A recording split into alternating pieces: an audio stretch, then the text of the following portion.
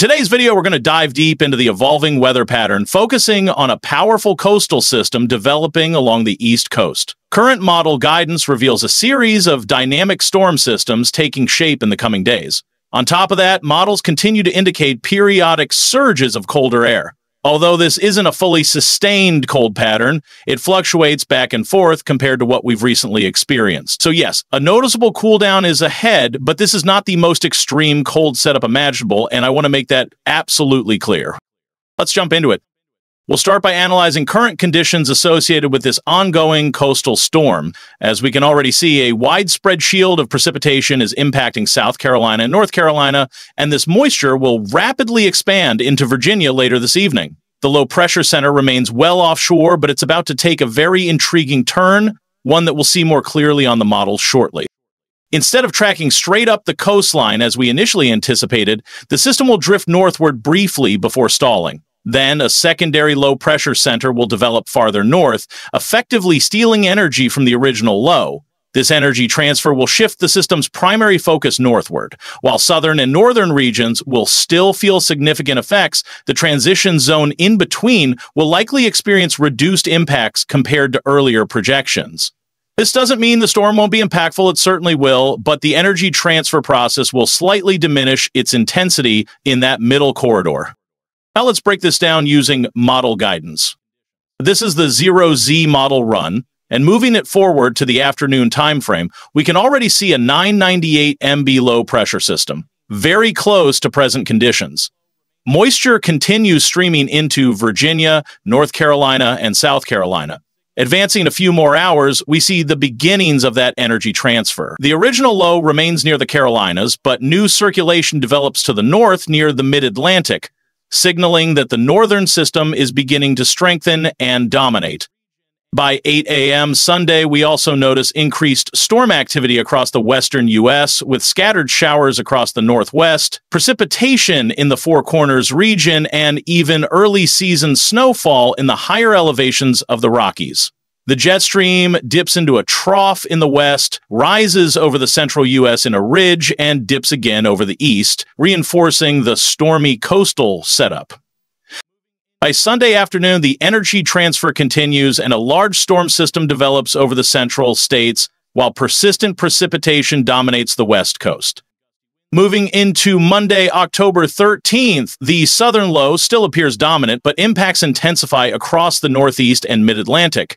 Heavy rainfall and gusty winds become widespread. However, notice that the corridor between the two lows appears drier, missing out on the worst impacts. At least in this model run, the GFS model currently suggests a bit more activity in that zone, so we'll be watching that closely. By Tuesday afternoon, all coastal lows shift offshore, while the west remains highly active, with persistent rainfall and mountain snowfall across the Rockies and Sierra Nevada. Let's continue toward Wednesday the 15th. As we progress into this time frame, the overall pattern holds steady. The Rockies and surrounding regions remain highly active, consistently influenced by recurring storm systems. The jet stream configuration is fascinating. A pronounced trough in the west, a strong ridge over the central U.S., and another trough reestablishing over the east. This setup promotes cooler air across the eastern states during this period. Advancing into Thursday afternoon, October 16th, the jet stream amplifies, with ridging across the central states and troughing on both coasts. This results in widespread precipitation from the Rockies northeastward into the upper Midwest and the north central U.S., fueled by a pair of interacting low-pressure systems. By Friday, much of that energy lifts northward while a cold front sweeps across the plains and Midwest, triggering scattered thunderstorms and heavier showers, the Pacific Northwest remains unsettled under persistent storm activity, and that trend shows no sign of slowing down. On Saturday the 18th, a new low pressure system develops over the central states, with showers and thunderstorms building to its east. Snowfall opportunities persist across the Rockies, extending into the weekend as early season winter energy continues to funnel in. Looking ahead to Sunday, October 19th, we see a 991 MB low developing near Wisconsin with another secondary low over Mississippi. These systems combine to create a messy frontal setup featuring a strong cold front draped across the central U.S. and a warm front lifting northward. This means warmer, more humid air surges in from the south, especially according to this model run though it's still over a week out, so details remain subject to adjustment. Meanwhile, the Northwest continues its stormy streak with ongoing mountain snowfall. By Monday, the 20th, the East Coast once again becomes stormy, driven by a powerful low spinning between Hudson Bay and the Great Lakes. This is a robust system, delivering widespread heavy precipitation.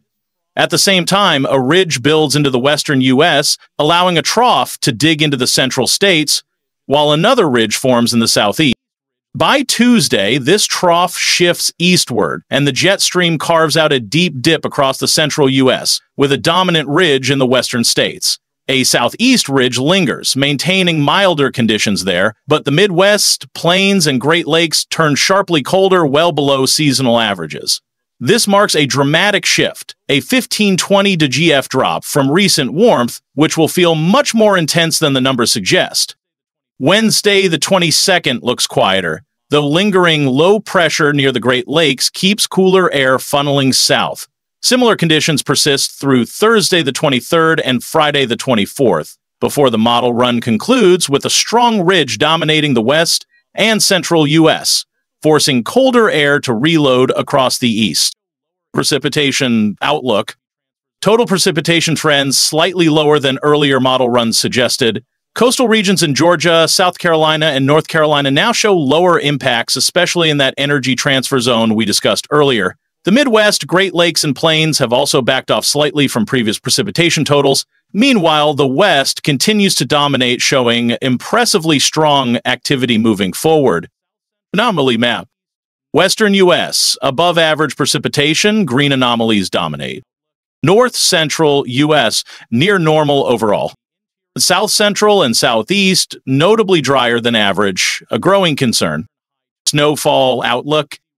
Light accumulations in parts of Minnesota and the interior Northeast mountains. Significant snow continues building in the western high terrain, especially the Rockies and Sierra Nevada. Temperature pattern.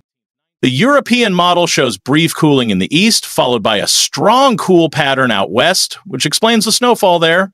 A backdoor cold front slides in around the 18th 19th, delivering modest cooling to the northeast from an unusual east to west direction. After the 20th, a more widespread cool down takes over nationwide, ending the persistent above normal warmth we've had for weeks. By the end of the model run, temperatures warm again slightly, but that period is far out and should be viewed cautiously. European versus GFS models shows stronger and more frequent cold blasts. European model. Still shows repeated cooldowns, but less extreme. Both agree more frequent cold shots are coming, a big change from recent patterns. Thank you guys. See you next video.